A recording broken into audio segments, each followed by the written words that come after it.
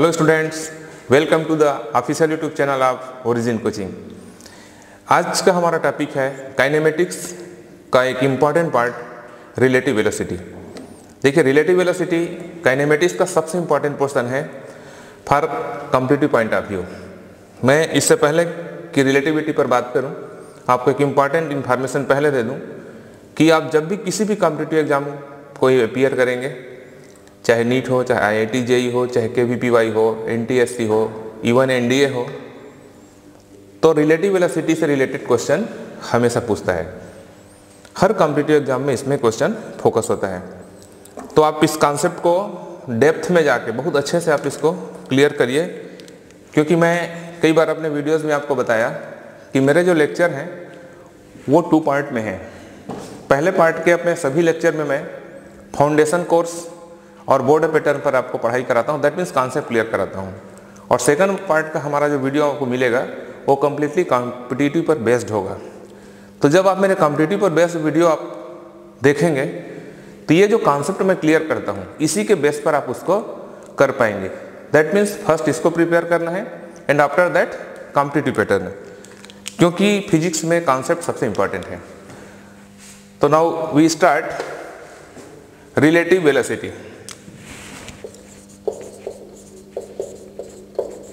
relative velocity इससे पहले कि मैं रिलेटिव वेलोसिटी पर बात करूँ, थोड़ी सी मैं चर्चा करूँगा रिलेटिविटी पर। व्हाट इज़ रिलेटिविटी देखिए रिलेटिविटी का प्रिंसिपल फिजिक्स का बहुत फ़ेमस प्रिंसिपल है, जो अल्बर्ट आइंस्टाइन ने दिया था प्रिंसिपल ऑफ़ रिलेटिविटी मैं इस पर बहुत ज़्यादा डिटेल तो डिस्कस नहीं करूँगा, लेकिन मैं कोशिश करूँगा कि आपके ब्रेन में रिलेटिविटी में अच्छे से क्लियर कर दूँ। देखिए, हमारे पूरे यूनिवर्स में जितने भी फ़िज़िकल क्वांटिटीज़ हैं उसमें टाइम को छोड़ के। Other than time all physical quantities are relative बिना कंपैरिजन के हम किसी फ़िज़िकल क्वांटिटी को डिफाइन नहीं कर सकते। हमको हार्डनेस इसलिए पता चलता है क्योंकि हमको कोल्डनेस पता होता है। हमको डार्क इसलिए पता होता है क्योंकि हमको लाइट पता होता है। आप कोई भी फ़िज़िकल क्वांटिटी ले लीजिए, आप कंपैरिजन में उसको समझ पाते हैं। बट टाइम रिलेटिव नहीं होता। मैं कभी रिलेटिविटी के टॉपिक पर आपसे बात करूँगा तो आपको डिटेल में उस वीडियो में बताऊँगा कि टाइम रिलेटिव क्यों नहीं है। यहाँ पर मैं आपको रिलेटिविटी बताऊँ रिलेटिविटी मतलब होता है कंपेरिजन हम किसी भी चीज़ को बोलते हैं इवन जब हम किसी चीज़ को खाते हैं तो किसी को कड़ुआ बोलते हैं इसलिए बोल पाते हैं क्योंकि हमको मीठे का भी पता है। आप इमेजिन करो एक बच्चे को पैदा होने से लेके हमेशा आगे फार ईवर उसको आपको सिर्फ़ मीठा खिलाते रहो। वो ये नहीं जानेगा कि, कि दूसरा भी स्वाद होता है। दैट मीन्स मैं आपको पहले ये बताना चाहता हूँ कि हर चीज़ रिलेटिव है टाइम को छोड़ के। यहाँ पर हम पढ़ेंगे रिलेटिव वेलोसिटी वेलोसिटी का रिलेटिविटी देखिए, हमने मोशन के डेफिनेशन में आपको बताया था। Change of position of any body with respect to any stationary body with respect to stationary body आप इमेजिन करिए, हम अर्थ में बैठे हैं और अर्थ अपने गैलेक्सी पर सन के अराउंड इतने स्पीड से मोशन कर रहा है लेकिन हम में से किसी ने कभी अर्थ के मोशन को एहसास नहीं किया। हमको नहीं पता चलता। आप कार में 120 130 किलोमीटर पर आवर की स्पीड के व्हीकल में बैठते हैं तो आपको मोशन का एहसास होता है। आप डरने लगते हैं स्पीड ज़्यादा हो गई। आप सोचो, हम अर्थ में बैठे हैं और अर्थ की क्या स्पीड है।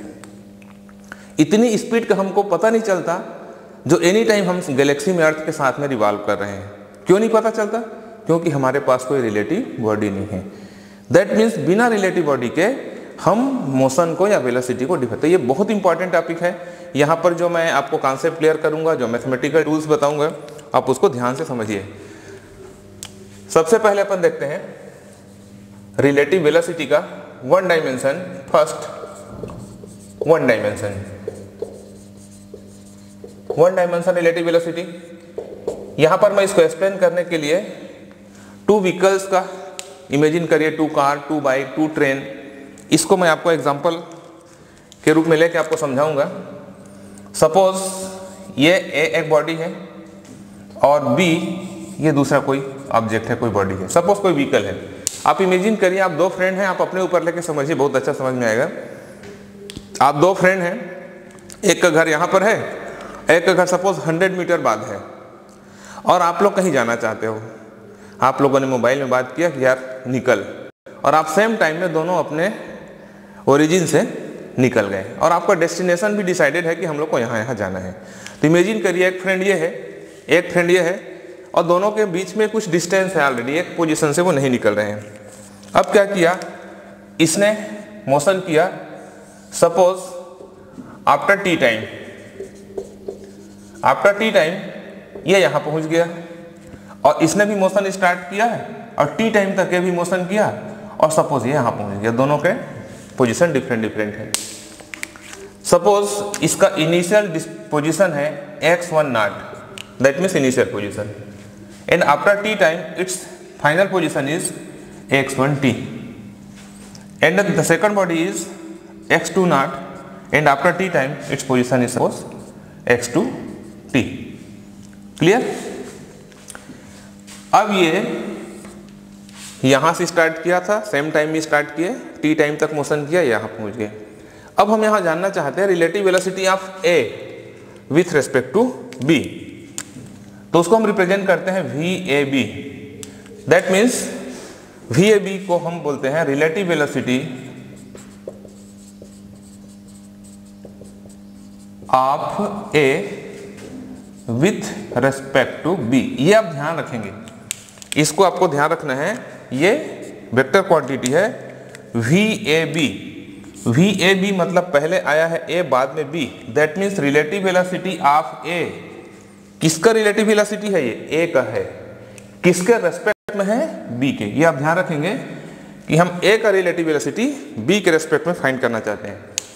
और ये होता है V A minus V B मतलब हम जिसका रिलेटिव वेलोसिटी फाइंड करना चाहते हैं, उसमें जिसके रेस्पेक्ट में फाइंड करना चाहते हैं, उसको माइनस करते हैं अब दोनों का वैल्यू पुटअप कर देते हैं। That implies V A B equal V A का वैल्यू क्या हो जाएगा?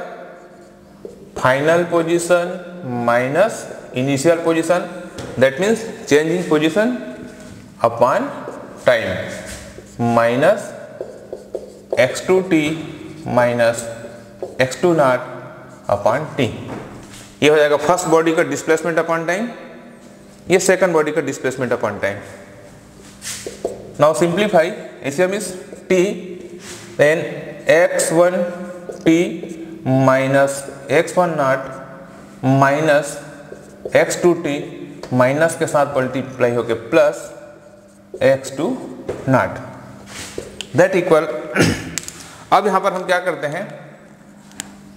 टी पोजीशन को एक पेयर बनाते हैं और इनिशियल पोजीशन को एक पेयर बनाते हैं, इन दोनों का। इस तरह से हम उसको क्या लिख सकते हैं? इसको लिख सकते हैं अपन x one T minus x two T एक पेयर ये बनाया। इन दोनों में से हमने माइनस कॉमन किया। माइनस, अब ये प्लस हो जाएगा। X one naught minus x two naught upon time. अब इसको ध्यान से समझिए। कि ये वाला पोर्शन ये जो फ़र्स्ट पार्ट है, ये क्या है? यहाँ फिगर में आइए। ये इसका फाइनल पोजीशन है और ये इसका फाइनल पोजीशन है। और इनके बीच का जो डिफरेंस है, ये इनका जो बीच का डिफरेंस है, ये ये जो आप देख रहे हैं, वही है x one T minus x two T that means इसका मतलब क्या हुआ? After T time displacement between between two bodies T time तक मोशन करने के बाद उनके बीच का सपोज़ उन लोग, दो, आप दोनों फ्रेंड टी टाइम तक मोशन किए, फिर अपने अपने जगह में रुक गए, फिर आप देखें कि वो कहाँ है, वो कहाँ है। और उन दोनों के बीच का जो डिस्प्लेसमेंट है, वो है फ़र्स्ट पोर्शन और ये क्या है आप देखिए? ये है जब आपने मोशन स्टार्ट किया था, तब का डिस्प्लेसमेंट कैसे यहाँ पर फिगर में देखिए? ये। ये मोशन स्टार्ट करने के पहले का डिस्प्लेसमेंट वो ज़ीरो भी हो सकता है। यदि आप सेम पोजीशन से स्टार्ट करेंगे तो सेकंड पॉइंट ज़ीरो हो जाएगा। वो तो आप न्यूमेरिकल्स में देखेंगे, समझ में आएगा आपको। ये हो जाएगा x one naught minus minus x two naught that means relative velocity of है with respect to B is in word इसको क्या बोल सकते हैं? Displacement after T time minus initial displace और final displacement minus initial displacement इसको in word हम लिख सकते हैं final displacement minus initial displacement upon time is relative velocity of A with B to B. That means VAB ये होता है relative velocity का फार्मूला अब देखिए न्यूमेरिकल्स बनाने में ये सिचुएशन आपको काम आएगा, लेकिन यहाँ पर मैं इसके फाइव स्पेशल केस आपको एक्सप्लेन कर रहा हूँ कि जो फाइव स्पेशल केस में केस आपको एक्सप्लेन करूँगा, वो कॉम्पिटेटिव एग्ज़ाम में बहुत सारा क्वेश्चन कवर करता है। एक एक केस को आप डिटेल में समझिए और उसके कॉन्सेप्ट को समझिए। इस तरह से ये हुआ वन डायमेंशन रिलेटिव वेलोसिटी देखिए वन डायमेंशन रिलेटिव वेलोसिटी का मतलब क्या हुआ? कि अभी दोनों पार्टिकल वन डायमेंशन मैंने बताया कि आप एक डायरेक्शन में जा रहे हैं। सपोज़ टू ट्रेन अगल बगल के ट्रैक में जा रही है। आप रोड में दो लोग एक साथ जा रहे हैं। इस तरह का मोशन है। Clear now next is special cases देखिए, इसका जो स्पेशल केस मैं आपको एक्सप्लेन करूँगा, वो हर केस बहुत इंपॉर्टेंट है। कॉम्पिटेटिव में उसी से क्वेश्चन आते हैं। अब यहाँ पर मैं पूरे फाइव केस ट्रेन का एग्जांपल लेके आपको समझाऊँगा और आप इमेजिन करेंगे कि हम ट्रेन के रेस्पेक्ट में इसको समझ रहे हैं। देखिए, मैं हमेशा अपने फिजिक्स के क्लास में एक डिस्कस आपसे करता हूँ कि फिजिक्स कंप्लीट इमेजिनेशन का और क्लासरूम से बाहर ऑब्जर्वेशन का सब्जेक्ट है। यदि आप सिचुएशन को प्रैक्टिकल लाइफ में एक्सपीरियंस करेंगे तो फिजिक्स आपको बहुत इंटरेस्टिंग लगेगा। कभी आपको इसको रटना नहीं पड़ेगा और आप इसमें इंजॉय करोगे। और जब कोई भी आदमी किसी भी चीज़ में इंजॉय करने लगता है तो अपने आप लर्न हो जाता है वो। तो मैं कोशिश करता हूँ कि आप इसमें इंजॉय करिए। आप उस सिचुएशन को अपने ब्रेन में क्रिएट कीजिए कि हम ट्रेन में आते जाते हैं तो किस किस तरह का सिचुएशन हमको मिलता है। Now first case is since V A B equal V A minus V B then special case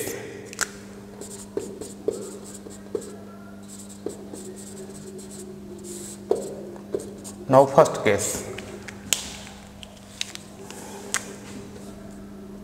First case is, suppose, if va is then V B मतलब फ़र्स्ट बॉडी का वेलोसिटी सेकेंड बॉडी से क्या है? Greater है। Then obviously V A B is positive ये value से बड़ा होगा तो क्या मिलेगा? वैल्यू पॉजिटिव मिलेगा। तो जब रिलेटिव वेलोसिटी पॉजिटिव मिलता है तो होता क्या है? देखिए रिलेटिव वेलोसिटी पॉजिटिव मिलने का मतलब है, जैसे मेरे सामने कोई व्हीकल है और मैं हूँ। अपना रिलेटिव वेलोसिटी मैं उसका रेस्पेक्ट में निकालना चाहता हूँ। दो कार में हम जा रहे हैं। और मेरा velocity that means V A आप इमेजिन करिए कि वी ए मेरा वेलासिटी है। तो मैं नेचुरली उस कार को क्या करूँगा? ओवरटेक करूँगा। एक बार मैं उसको ओवरटेक करके आगे निकल जाऊँगा। तो इसमें क्या होता है? वंस ओवरटेकिंग एक बार उसको ओवरटेक करेगा और उनके बीच के जो डिस्प्लेसमेंट है after overtaking after overtaking displacement will be increases मतलब क्या हुआ? आप प्रैक्टिकल इमेजिन करिए, आप किसी व्हीकल से जा रहे हैं, आपके सामने एक व्हीकल है। आपका व्हीकल का स्पीड उसके व्हीकल से ज़्यादा आप क्या करते हो? उसको ओवरटेक करते हो। ओवरटेक क्या उसको आगे निकल जाते हो। उसके बाद आप बहुत आगे निकल जाते हो, पिछड़ते जाता है। दैट मीन्स उन दोनों के बीच का जो डिस्टेंस है, क्या होता जाता है? इंक्रीज होते जाता है। तो क्वेश्चन इसमें कैसे आता है? एग्ज़ाम में क्वेश्चन ऐसा आता है कि if relative velocity is positive then what is the sense of positive relative velocity that means body once overtake and after overtaking its uh, distance will be increases clear now second case is if va is less than vb naturally if va is less than vb then relative velocity vab is negative value negative हो गया suppose मेरे सामने का vehicle मेरे से ज़्यादा speed में जा रहा है तो क्या मैं उसको ओवरटेक कर सकूँगा? नहीं कर सकूँगा, है ना? तो क्या हो जाएगा? नेवर ओवरटेकिंग इसमें ओवरटेकिंग नहीं होता और ओवरटेकिंग तो नहीं हो पाता, लेकिन इनके बीच का जो डिस्टेंस है, क्या होता है? वो डिक्रीज होते रहता है। क्लियर तो यहाँ पर डिस्टेंस क्या होता है? डिक्रीज ओवरटेक नहीं होगा, लेकिन बीच का डिस्टेंस क्या होता है? ग्रेजुअली डिक्रीज होते जाता है। Third condition is now, third case is, if va equal to vb ये बहुत इंपॉर्टेंट केस है va equal to vb then देखिए दोनों वेलोसिटी का स्पीड सेम हो जाए तो क्या होगा कैंसल आउट होकर वी ए बी क्या हो जाएगा? ज़ीरो हो जाएगा। That means relative velocity of body A is zero ये बहुत इंपॉर्टेंट केस है, देखिए, आप मोशन में हैं, ऐसा नहीं कि आप रेस्ट में हैं, लेकिन फिर भी आपका रिलेटिव वेलोसिटी ज़ीरो है। एक इस तरह की बात होती है कि सपोज़ आप ट्रेन में जा रहे हैं और आपके बगल में एक और दूसरे ट्रैक पर एक और ट्रेन जा रही है। कभी कभी आपने देखा होगा कि बगल की ट्रेन भी कुछ देर तक हमारे ट्रेन के स्पीड से चलने लगती है। तब हम क्या देखते हैं उस ट्रेन को देखते हैं तो लगती है वो ट्रेन खड़ी है, रेस्ट में है। या खुद को देखें, उसके रेस्पेक्ट में तो लगता है हम खड़े हैं, लेकिन साइड में आप ट्री को, इलेक्ट्रिक पोल को देखें तो लगता है कि आप स्पीड से चल रहे हैं। उस विंडो में कोई आदमी बैठा हो, आप यहाँ बैठे हैं, आप देखोगे कि आप एक दोनों के सीधे बने रहते हैं। या एक प्रैक्टिकल एग्ज़ाम्पल आपको देता हूँ जो आप अपने डेली लाइफ में करते हैं जो कि आपको नहीं करना चाहिए, है ना? क्या करते हो आप लोग? क्लास से निकलते हो? मैं बहुत बार रोड में आप लोग को देखता हूँ, क्लास से निकले, ये मैं कई बार आपको क्लास में बोला भी हूँ कि जैसे आप बाहर रोड में निकलते हो तीन चार फ्रेंड रोड को पूरा कवर करके अगल बगल चलते रहते हो और एक दूसरे से बात करते रहते हो। उस टाइम में आप लोग का पोजीशन एक दूसरे के रेस्पेक्ट में चेंज नहीं होता। क्यों? क्योंकि आप इक्वल वेलोसिटी से चलते रहते हो। अब दूर तक अपने घर तक आप चले जाते हो और आपका बगल का फ्रेंड आपके बगल में ही बना रहता है। क्यों? क्योंकि आपका रिलेटिव वेलोसिटी क्या है? ज़ीरो है। आप रेस्पेक्ट में हो सॉरी आप मोशन में हो बट अपने बगल के फ्रेंड के रेस्पेक्ट में क्या हो आप? रेस्ट में हो। साइड में और साफ़ हैं और कुछ इलेक्ट्रिक पोल हैं और ऑब्जेक्ट हैं, उनके रेस्पेक्ट में आपका डिस्टेंस चेंज हो रहा है बट बगल वाले फ्रेंड के रेस्पेक्ट में आपका डिस्टेंस चेंज नहीं होता है। तो ये जो रिलेटिव वेलोसिटी है, वो क्या होता है? If two body the velocity of two bodies are equal and direction are same then it's relative velocity is zero मतलब एक दूसरे के रेस्पेक्ट में क्या होते हैं वो? रेस्ट में होते हैं। Clear third case sorry fourth case fourth important case is if V A is zero V A is zero suppose ये ज़ीरो है दैट मीन्स आप रेस्ट में हो, लेकिन जिस बॉडी से के रेस्पेक्ट में आपको अपना रिलेटिव वेलोसिटी चाहिए, वो मोशन में है। तो वी ए बी क्या हो जाएगा? V A B equal to minus V B क्योंकि ये ज़ीरो हो गया। अब ये क्या केस देखो, ये केस भी मैं आपको एक प्रैक्टिकल एग्जांपल से बताऊँ। आपने बहुत बार ये ऑब्ज़र्व किया होगा कि जब आप किसी ट्रेन पर, किसी रेलवे प्लेटफॉर्म में आप खड़े होते हैं, आपकी ट्रेन खड़ी होती है। बगल में भी एक ट्रेन वो भी खड़ी है। लेकिन आपने देखा होगा जैसे ही बगल की ट्रेन मोशन स्टार्ट करता है तो हमको क्या लगने लगता है कि हमारी ट्रेन चलने लगी। कई बार तो हम लोग इतना ज़्यादा कन्फ्यूज़ हो जाते हैं कि हमारा, हमारे साथ का कोई पर्सन हमारा कोई रिलेटिव यदि ट्रेन से नीचे उतरा तो हम उसको आवाज़ नहीं लगते हैं, चलो चलो, ट्रेन छूट रही लेकिन बगल देखते हैं हमारी ट्रेन खड़ी है। दैट मीन्स ऐसा क्यों हुआ? आप तो रेस्ट में हो, लेकिन आपका रिलेटिव वेलोसिटी ज़ीरो नहीं है।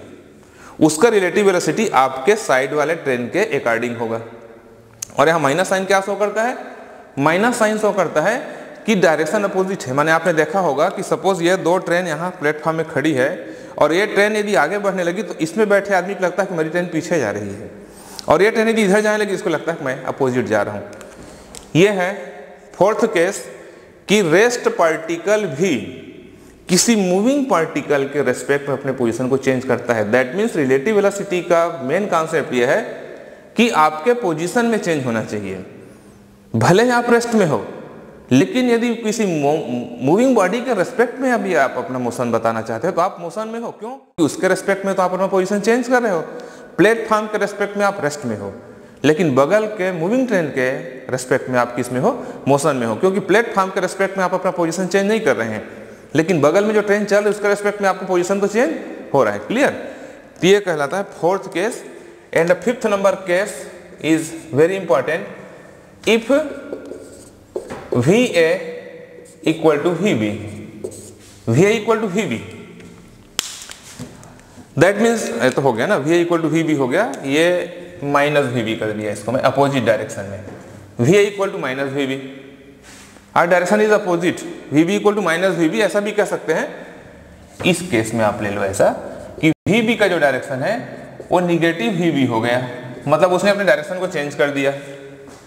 यहाँ पर तो क्या हो जाएगा? V A B equal to देखिए then V A B equal to V A minus minus V B that means V A plus V B इस केस में दोनों का वेलासिटी एड हो जाता है।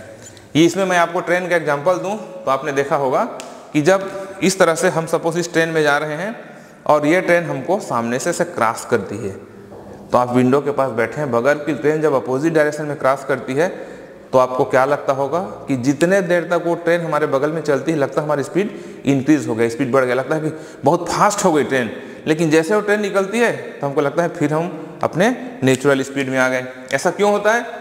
क्योंकि दोनों का वेलोसिटी एड हो जाता है। फॉर एग्ज़ाम्पल सपोज़ ये आपकी ट्रेन है वी ए इसका स्पीड है सपोज़ 50 किलोमीटर पर आवर और साइड में ये ट्रेन ये है वी भी जो आपको क्रॉस करेगी, उसका स्पीड है सपोज़ 60 किलोमीटर पर आवर तो जब ये ट्रेन आपको बगल से क्रॉस करेगी तो आपका रिलेटिव वेलोसिटी क्या हो जाएगा? सम ऑफ़ द वेलोसिटी हो जाएगा। That means 50 plus 60 that equal 110 kilometer per hour हो जाएगा। मतलब जब वो ट्रेन आपको बगल से क्रॉस करती है, तब भले ही आपके ट्रेन का स्पीड 50 किलोमीटर पर आवर है, लेकिन आपको एहसास किसका होता है?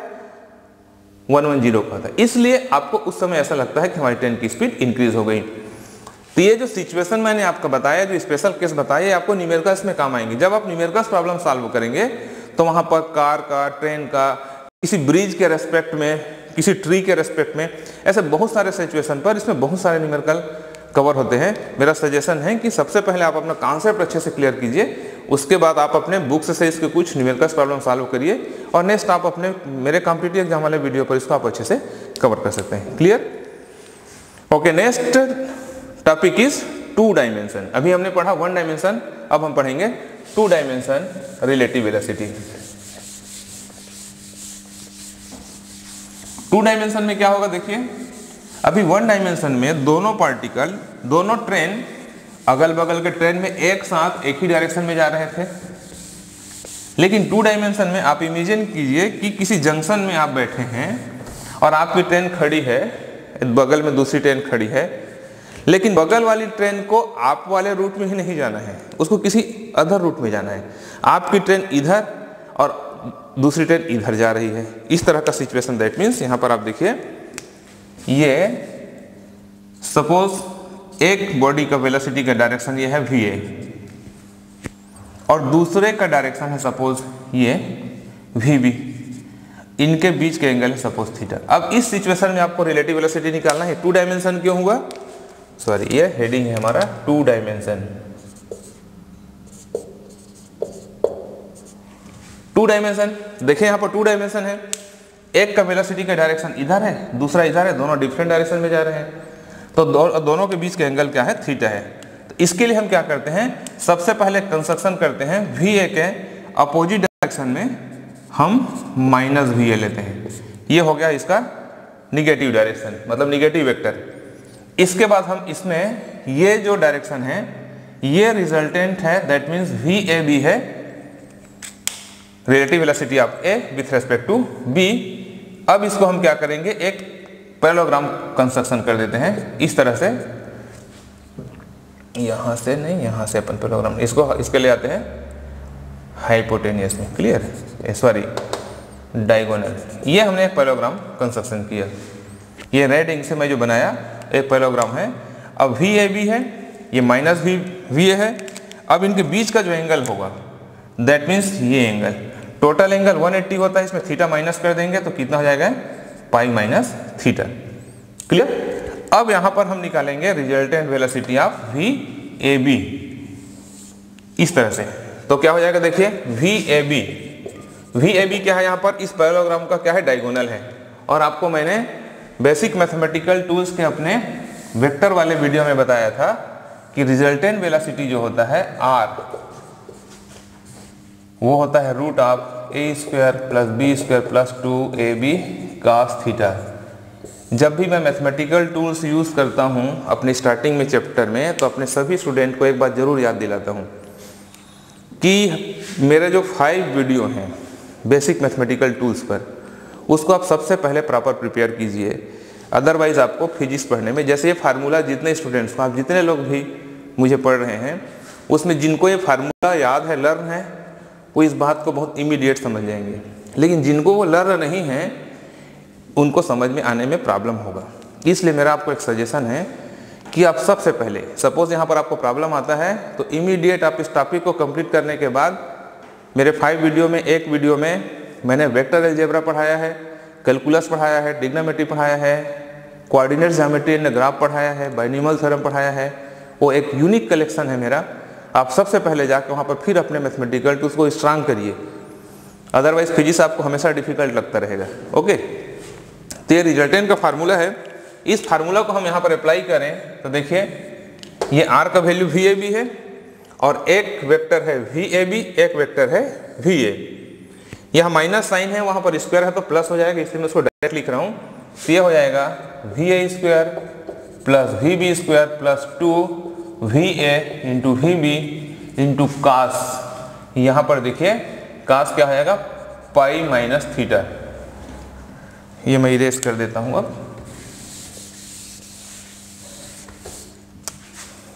कास पाई माइनस थीटा ये आपको याद रखना है बार लिख देता हूँ आर इक्वल टू रूट आप वैसे आपको ये लर्न हो जाना चाहिए।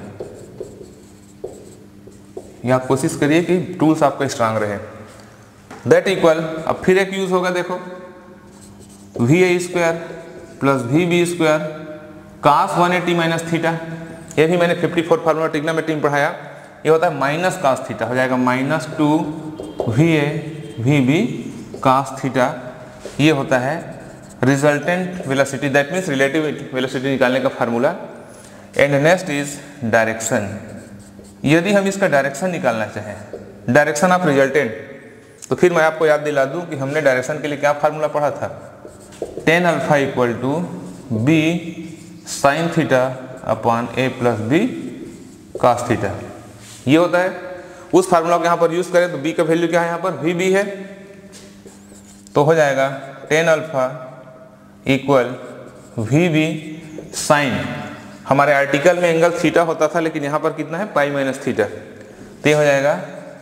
Pi minus theta upon V A plus V B cos pi minus theta that equal V B sine one eighty minus theta is sine theta तो हो जाएगा साइन थीटा अपॉन ये वी ए और ये minus होता है तो minus V B cos theta ये हो जाएगा टेन अल्फ़ा दैट मीन्स यदि हमारे न्यूमेरिकल में टू डायमेंशन का सिचुएशन हो, जैसे इस तरह का बहुत सारा क्वेश्चन है एक बम एक्सप्लोट हो जाता है, उसका एक पार्टिकल इधर जाता है, एक पार्टिकल उधर जाता है तो थर्ड पार्टिकल का डायरेक्शन निकालो।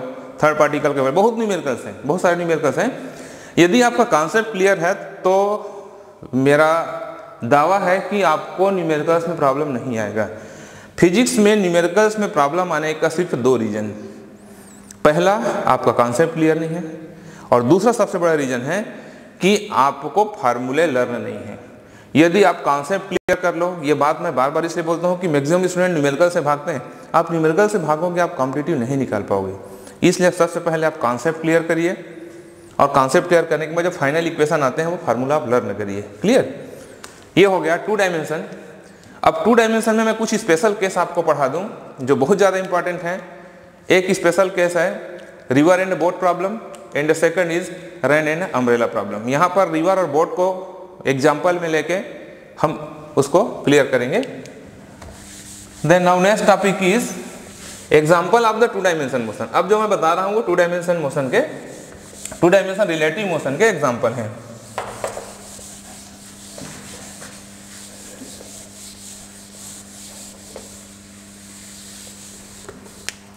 First is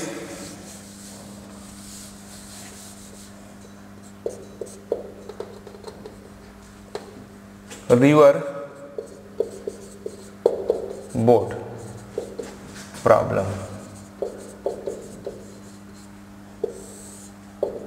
River and boat problems river and boat पर बेस्ट बहुत सारे प्रॉब्लम हैं। तो हम पहले सिचुएशन को समझें। इसके इसके टू टू कंडीशंस हैं। First is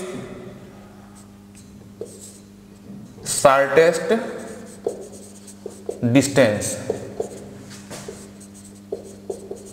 and second is दोनों को कंपेरेटिव बता रहा हूँ मैं। शार्टेस्ट टाइम इसका मतलब क्या है? अभी आगे एक्सप्लेन करता हूँ। आप इमेजिन करिए, ये कोई रिवर है। ये रिवर के टू साइड्स हैं। इस तरह से ये रिवर है।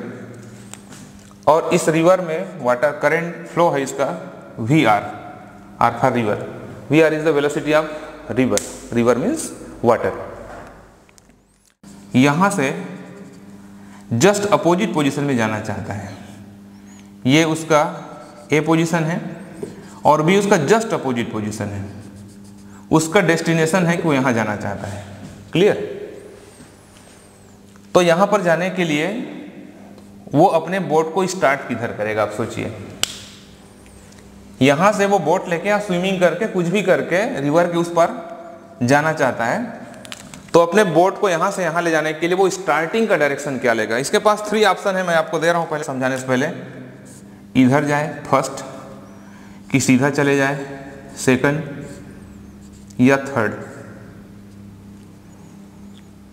किस डायरेक्शन को चॉइस करे तो एग्जैक्ट बी में पहुंचेगा। आप थोड़ा सोचिए। नेचुरली आप में से कई स्टूडेंट के दिमाग में क्या आ रहा होगा कि सर सेकंड से जाना चाहिए, तब तो यहाँ जाएगा।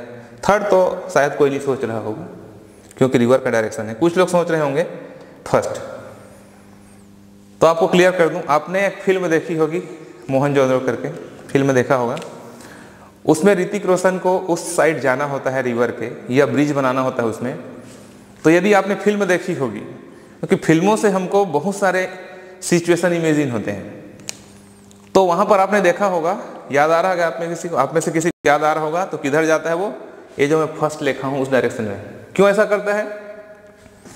क्योंकि जब वो इस डायरेक्शन में जाएगा तो रिवर का जो फ्लो है, वो उसको ढकेलते कर ढकेलते पुश करते करते यहाँ पहुंचाएगा।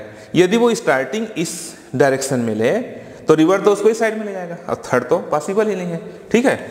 तो यहाँ पर आप देखे होंगे, आप देख रहे हैं कि हमको फ़र्स्ट डायरेक्शन में जाना चाहिए। दैट मीन्स ये डायरेक्शन उसको चॉइस करना चाहिए। कौन सा? ये। तो बोट मैन इस डायरेक्शन में दैट मीन्स वी एम हमने उसको इमेजिन किया, इस डायरेक्शन में जाता है। और फाइनली उसका जो रिजल्टेंट डायरेक्शन होगा, वो होगा वी सपोज़ वो अपने वर्टिकल से थीटा एंगल बना के जाता है। तो यहाँ पर थ्री डायरेक्ट फार्मूला हमको समझना है। फ़र्स्ट डायरेक्शन के लिए डायरेक्शन के लिए हम यहाँ पर निकालते हैं sine theta sine theta equal to क्या हो जाएगा? परपेंडिकुलर अपॉन हाइपोटेनियस तो perpendicular is V R hypotenuse is V M first second for relative velocity तो यहाँ पर वी देखिए क्या है? परपेंडिकुलर है। तो ये हाइपोटेनियस है बेस है। तो हो जाएगा हाइपोटेनियस का square minus V R square by Pythagoras theorem and third is time taken कि कितने देर में उधर पहुंचेगा? तो सपोज़ रिवर का जो विथ है, वो एस है। तो time equal to displacement upon velocity होगा। तो हो जाएगा एस अपॉन वी यहाँ पर भी हम रिजल्टेंट वेलोसिटी को पुटअप करेंगे। तो टाइम टेकन थ्री क्वेश्चन से बनता है। इस तरह के सिचुएशन में आपको कोई न्यूमेरिकल दे देगा और थ्री क्वेश्चन उसमें आपको पूछा जा सकता है। क्या पहला, कि बोटमैन को वर्टिकल से कितना डिग्री ले जाके उसको अपने बोट को ले जाना चाहिए। कई बार न्यूमेरिकल्स में क्या बोलता है? कई बार बहुत न्यूमेरिकल्स में आप देखना, कि विथ रेस्पेक्ट टू करंट बोलता है। मतलब ये जो डायरेक्शन है, इस डायरेक्शन के रेस्पेक्ट में वो बोलता है। इस डायरेक्शन के रेस्पेक्ट में बोलेगा तो क्या करेगा? हम तो ये निकाल लिए तो क्या करेंगे? उसमें 90 आप प्लस कर देना। With respect to vertical theta निकलेगा।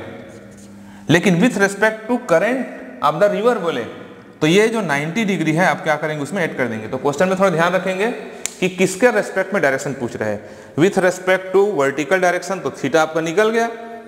और अदरवाइज़ आप क्या करेंगे? 90 डिग्री ऐड कर देंगे। नेक्स्ट इज़ शार्टेस्ट टाइम तो शार्टेस्ट टाइम का मतलब क्या होता है देखिए शार्टेस्ट टाइम में ये रिवर है, अब उसको यहाँ से, सपोज़ उसको इस पोजीशन से उस साइड में जाना है, लेकिन अब उसके लिए पोजीशन इंपॉर्टेंट नहीं है। टाइम कम लगे उसको, ये तो शार्टेस्ट डिस्टेंस था उसका, टाइम कम लगे। तो क्या करेगा अब आप समझ गए होंगे, नेचुरली वो इस इस डायरेक्शन में, ये है वी आर वी एम वो क्या है? परपेंडिकुलर डायरेक्शन में स्टार्टिंग लेगा और फाइनली रिवर के मोशन के कारण क्या होगा? वो यहाँ पहुंचेगा, लेकिन जल्दी पहुंचेगा। क्यों? क्यों जल्दी पहुंचेगा? क्योंकि रिवर भी क्या करेगा? उसको पुश करेगा उधर आगे जाने के लिए। जनरली हम ऐसा ही करते हैं। कभी भी आप रिवर वगैरह बोट से पार करें तो पता चले ऐसा ले जाता है। फिर रिवर के केवल क्या करता है? जो बोट चलाने वाला है बोट मैन हो, क्या करता है? केवल उसको डायरेक्शन देता है और बहुत जल्दी उस साइड में पहुँच जाता है। तो सपोज़ ये यहाँ पर थीटा है तो थ्री फार्मूला यहाँ पर यहाँ पर आप निकालेंगे tan theta tan theta equal to perpendicular upon base तो हो जाएगा V R upon V M next is V resultant velocity ये है, जो ऑलरेडी हाइपोटेनियस है। तो क्या हो जाएगा? V M square plus V R square and the T is S upon V ये तो सेम होगा इस तरह से। अब यहाँ पर ये कंडीशन आप देखिए, दोनों में कंफ्यूजन बहुत है। यहाँ साइन थीटा की हेल्प से वी आर अपॉन वी है, वहाँ पर टेन थीटा से। यहाँ पर जो रिजल्टेंट वेलोसिटी है, उसमें माइनस है, उसमें प्लस है। तो कंपेरेटिव आप इसको पढ़ेंगे कि शार्टेस्ट डिस्टेंस है, कि शार्टेस्ट टाइम है। न्यूमेरिकल में साफ़ साफ़ लिखा रहता है कि स्विमर को या बोटमैन को उस साइड शार्टेस्ट पाथ को फॉलो करना है, कि शार्टेस्ट टाइम को फॉलो करना है। जैसा क्वेश्चन में दिया रहेगा, उसके हिसाब से आप इसको फॉलो करेंगे। Clear and next problem is rain umbrella problem ये भी बहुत मज़ेदार है। देखिए, आप ध्यान दीजिए कि कभी बारिश होते रहती है और आप अम्ब्रेला यूज़ करते हैं तो बारिश से बचने के लिए आप अम्ब्रेला को डिफरेंट डिफरेंट डायरेक्शन में टर्न करते हैं। कभी आप वर्टिकल रखे रहते हैं, कभी आप लेफ़्ट टर्न कर देते हैं, कभी टर्न सामने चाहे इस तरह से करते हैं। तो किस बेस पर करते हैं आप? रेन के डायरेक्शन के बेस पर करते हैं। क्लियर तो second is rain umbrella problem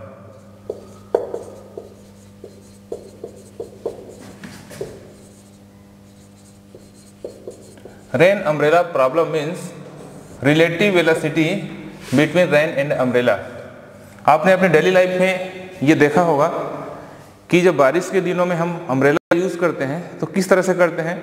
umbrella का पोजीशन को हम चेंज करते रहते हैं according to velocity of rain यहाँ पर हमको यही समझना है कि रेन और अम्ब्रेला के बीच में जो रिलेटिव वेलोसिटी होता है, वो किस तरह से होता है। देखिए तो यहाँ पर ये सपोज़ ये रेन का डायरेक्शन है V R V R rain का डायरेक्शन है, और यहाँ पर कोई मैन कोई आदमी यहाँ पर ऐसा वर्टिकल अपना अम्ब्रेला लेके खड़ा है। सपोज़ अब वो मोशन करना चाहता है इस डायरेक्शन में वी एम वेलोसिटी से। तो क्या करेगा? वो अपने अम्ब्रेला को यहाँ पर थीटा डिग्री बेंड करेगा। इस तरीके से बेंड करेगा। ये सपोज़ अम्ब्रेला का कंडीशन है। बारिश से बचने के लिए अपने थीटा उसको बेंड करेगा। और ये उस रिजल्टेंट डायरेक्शन हो जाएगा। That is suppose V resultant velocity between rain and umbrella अब यहाँ पर हम क्या करते हैं? एक परपेंडिकुलर ड्रा करके राइट एंगल ट्राइंगल बना लेते हैं। ये थीटा एंगल है तो वर्टिकली अपोजिट है। ये भी थीटा होगा। वी एम इसके पैरेलल है, ये भी वी एम होगा। और ये तो ऑलरेडी वी आर है। अब इस राइट एंगल ट्राइंगल में देखो यहाँ से यदि हम टेन थीटा निकाल लें तो टेन थीटा इक्वल टू क्या होगा? परपेंडिकुलर अपॉन बेस तो perpendicular is V M and base is V R तो टेन थीटा से ये V M upon V R V R अभी आपने इसका प्रीवियस टॉपिक जो देखा होगा, उसमें हमने रिवर बोर्ड प्रॉब्लम पढ़ाया। वहाँ पर भी एम और आर किसी में साइन किसी में टेन और यहाँ पर आप देख रहे हो, वहाँ पर V R upon V M होता है। अम्ब्रेला में ऐसा होता है। तो आप इसमें कंफ्यूज मत होइए। ये बहुत इंपॉर्टेंट टॉपिक है। इसका प्रॉपर कॉन्सेप्ट आप समझ के यूज़ करिए। देखिए, यहाँ पर मैं एक एग्जांपल बताता हूँ इसका। सपोज़ किसी न्यूमेरिकल्स प्रॉब्लम में मेन का वेलासिटी 10 मीटर पर सेकंड दिया हुआ है। सपोज़ कोई आदमी 10 मीटर पर सेकंड से मोशन कर रहा है अम्ब्रेला पकड़ के, और रेन का जो वेलासिटी है, वो भी 10 मीटर पर सेकंड है। अब यहाँ पर क्वेश्चन है कि उससे बारिश से बचने के लिए अपने अम्ब्रेला को कितना डिग्री बेंड करना है। तो आप क्या करिए, ये दोनों वैल्यू यहाँ पर पुटअप कर दीजिए। तो देयर फॉर क्या हो जाएगा? Tan theta equal to V M upon V R V M upon V R V M का वैल्यू कितना? टेन अपान टेन दोनों कैंसिल आउट हो जाएगा। That means tan theta equal to one therefore theta is 45 degree यहाँ पर theta क्या? 45 degree हो जाएगा। कहने का मतलब क्या हुआ? कि अम्ब्रेला को 45 डिग्री से बेंड करने पर हम इस सिचुएशन में बारिश से बचेंगे। तो ये रिलेटिव वेलोसिटी का एक बहुत इंपॉर्टेंट केस है। इसे न्यूमेरिकल्स प्रॉब्लम बहुत सारे कवर होते हैं कॉम्पिटिटिव एग्ज़ाम में। इसे क्वेश्चन आता है। तो डियर स्टूडेंट्स आज के टॉपिक में बेसिकली मैंने रिलेटिव वेलोसिटी पर ही ये वीडियो बनाया। रिलेटिव वेलोसिटी में एक बार आपको फिर याद दिलाता हूँ कि ये बहुत ज़्यादा इंपॉर्टेंट टॉपिक है। काइनेमेटिक्स का कॉम्पिटिटिव पॉइंट ऑफ़ व्यू से बहुत इंपॉर्टेंट टॉपिक है। आपके सारे कॉम्पिटिटिव एग्ज़ाम में, चाहे वो नीट हो, चाहे आई हो के हो एनटीएससी हो एन हो फिजिक्स पर बेस्ड जितने भी एग्ज़ाम होते हैं, उसमें रिलेटिव वेलोसिटी से बेस्ड क्वेश्चन पूछा जाता है। तो आप इसके कॉन्सेप्ट बहुत अच्छे से तैयार करिए और मेरा सजेशन दो सजेशन जो मैं हमेशा आपको देते रहता हूँ। पहला, आप बेसिक मैथमेटिकल टू स्ट्रांग करिए। सेकंड हर लेक्चर के बाद आप इस पर बेस्ड न्यूमेरिकल्स प्रॉब्लम सॉल्व करिए। Okay thank you